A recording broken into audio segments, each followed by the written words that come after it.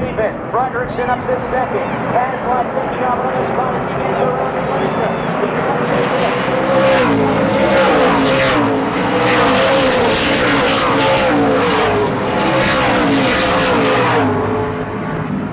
Goddard to the bottom. Six spot. Skyler 1-7. He leaves that inside line open. His Kirchner's backtracking a little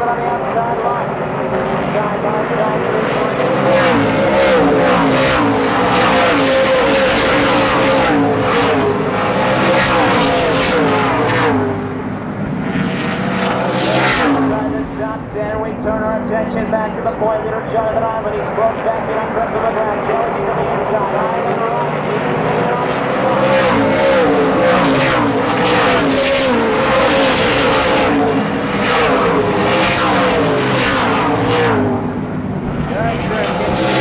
Ball backwards. Morrissey gets around.